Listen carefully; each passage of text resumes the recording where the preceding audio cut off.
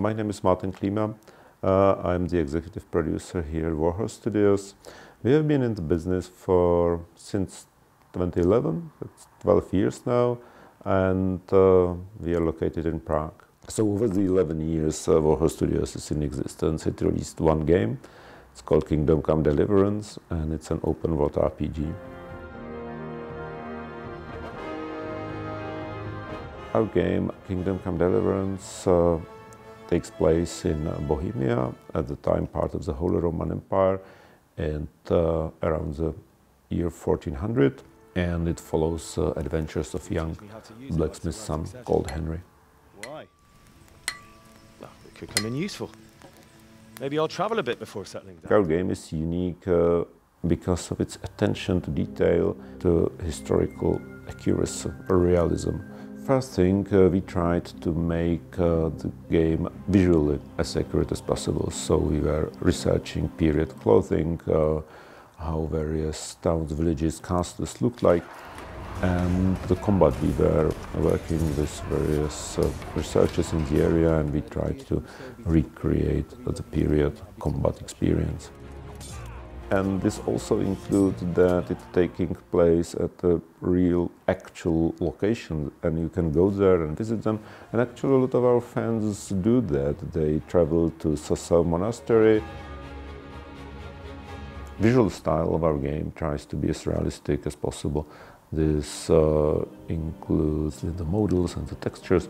Then uh, uh, we have the animations that are, as a rule, uh, created in the motion capture studio. It's a very complex game. It's probably not suitable for beginners. And our audience is all over the world. Kingdom Come Deliverance was released in uh, 2018, so it took us seven years to develop the game. We released several DLCs, downloadable content, uh, that the players can uh, buy, also we released some of them for free and that expand the world of Kingdom Come Deliverance and um, allow you to see the story from uh, the eyes of different characters.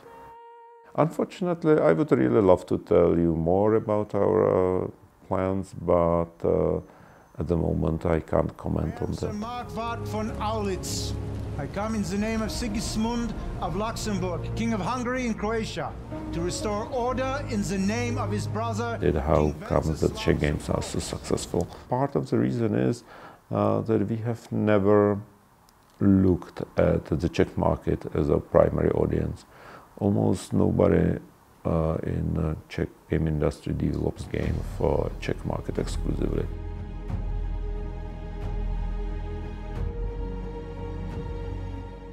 It's difficult to point at one single award or something, but I think really the biggest achievement is the, the great appeal the game had. It sold uh, over 5 million copies. That's really unique, I mean, even for an internationally successful game.